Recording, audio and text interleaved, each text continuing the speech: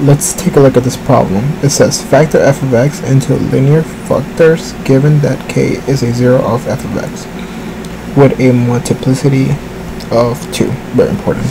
So in this type of problems, we're gonna use synthetic division and use our negative 2k as our divisor. So we're gonna do negative 2 and use synthetic division in here we're just going to take the coefficients. For example 1 2 negative 7 negative 20 and negative 12 okay? Oh that's ugly. Alright so we're going to drop down the 1 to begin. Then we're going to multiply the negative 2 and the 1 we get a negative 2 we add them we get a 0 0 times negative 2 is 0 then we drop the negative 7 negative 2 times negative 7 is 14 when we add them we get negative 6 negative 2 times negative 6 is positive 12 we get 0 so we're going to rewrite that as 1 x to the third power plus 0x squared minus 7x minus 6 okay? Then here we're going to use synthetic division again because it's a multiplicity of 2 so we're going to use negative 2 as our divisor again and we're going to do this again. So it's 1 0 negative 7 and negative 6 we drop down the 1 so we have negative 2 times 1 is negative 2. We add them. 0 minus 2 is negative 2. Negative 2 times negative 2 is positive 4.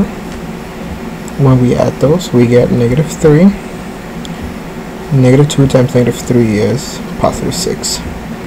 And again, we have 0 as our remainder, which is very important. So we're going to rewrite this as 1x squared minus 2x minus 3 okay? So this we're going to rewrite again.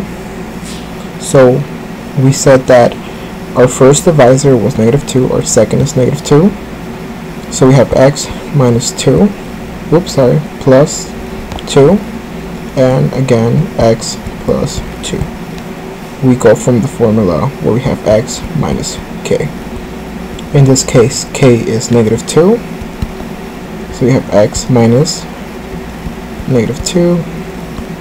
And that gives us x plus 2. And each time we use synthetic division, we took out a 2, a negative 2. Okay, and then our last piece of information is x squared minus 2x minus 3 but we have to have it in a linear equation so we gotta break down that x squared minus 2x minus 3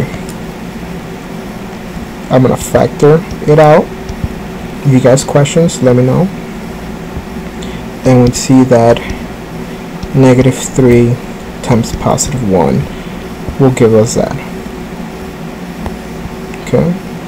And we could simplify this and have x plus 2 square and that is our solution.